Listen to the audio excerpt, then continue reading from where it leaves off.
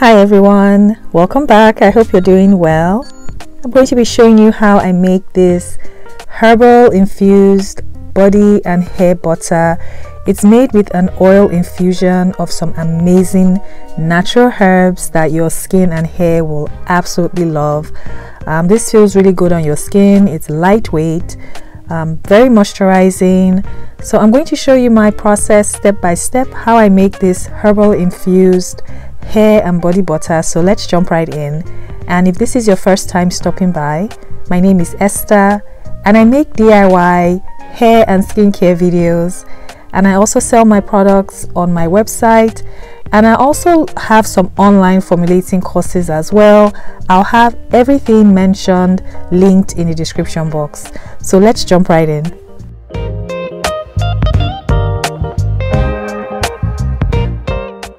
I'm going to get started weighing out my ingredients and the entire formula recipe will be listed in the description box and please don't forget to uh, subscribe if you haven't yet and please turn on your notifications so you don't miss any other videos that I upload.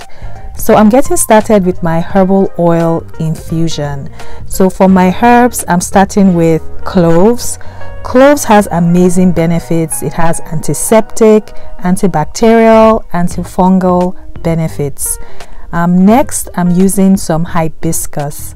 Hibiscus has so many antioxidants that are great for both your hair and skin and I'm adding some raspberry leaves as well and this has its own hydrating moisturizing benefits for both your hair and skin last is fenugreek uh, seeds. Fenugreek is also amazing for your hair and your skin. Um, it helps with hair um, growth thickening. It has anti-inflammatory benefits. I'm just going to add my olive oil to do my infusion. Of course you can use any other oil lightweight oil that you prefer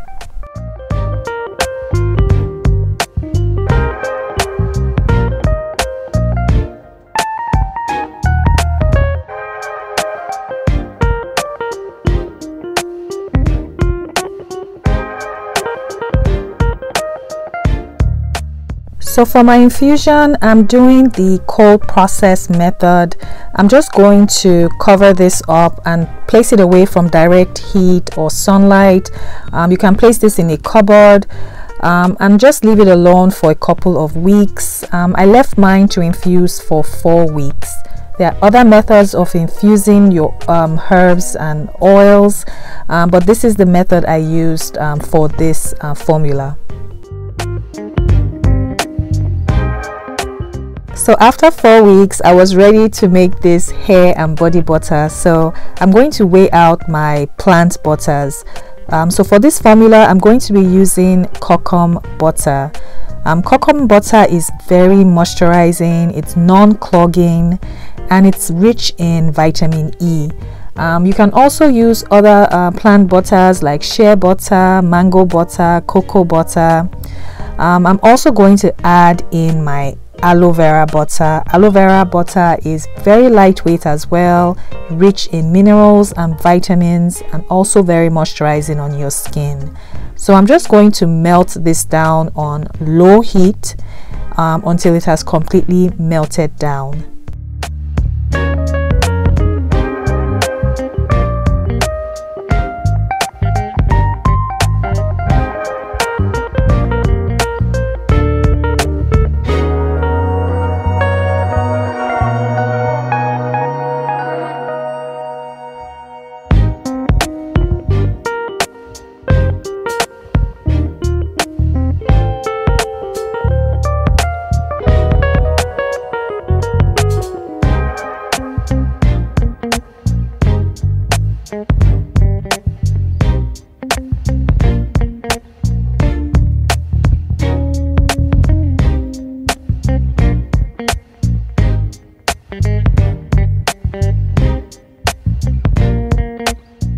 My plant butters have completely melted down and I've also cooled it down a bit. Um, so now I'm going to add my uh, plant oils that I've weighed out. and once I add them together I'm just going to give this a quick mix and then I'm going to cover this up and I'm going to place in the freezer until it is semi-solid.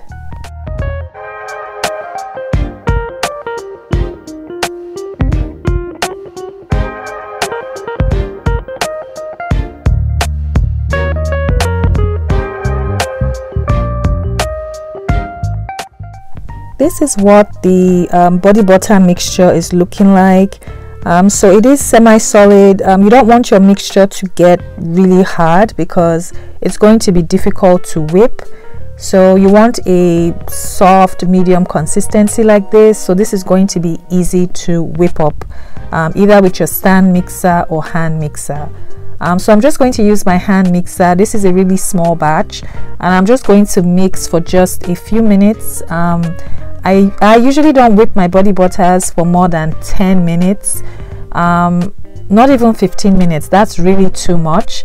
Um, you really don't want to whip your body butters for such a long time that you put so much air in it and then it's going to deflate. So for me personally I whip my body butter for about 10 minutes um, I start off on my on low speed whip for about two minutes and then I go to medium speed and whip for about four to five minutes.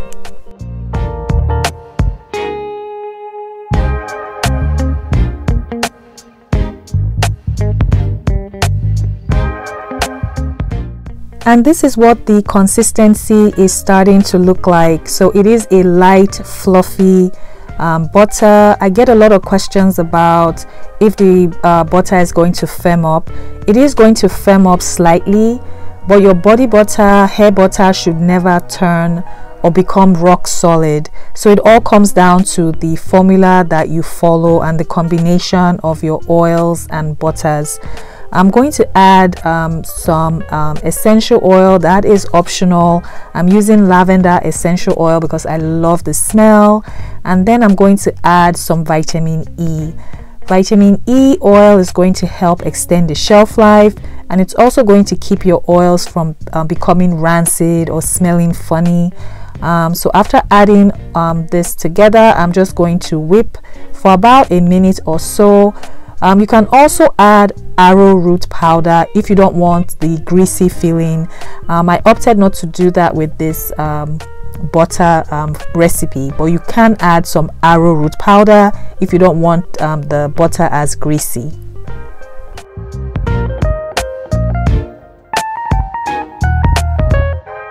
And our herbal infused hair and body butter is ready. The texture, the consistency is just amazing. It feels great on your skin. It also absorbs quickly even though I did not use arrowroot powder. So I hope you try this formula out. Feel free to make changes substitutions make it work for you make it work for your own hair type your own skin type. Um, I'm just going to package this up but I'm going to show you how it applies on the skin. I love making um, body butter products because I'm able to just change it up switch it up and just make it my own. So I hope you enjoyed this formula. Check the description box. Everything is going to be listed there in percents as well as grams um, as always please don't forget to subscribe. If you've not turn on your notifications so you don't miss any new videos that I upload. And don't forget to like this video because that really helps me out. And I'll see you in the next one. Bye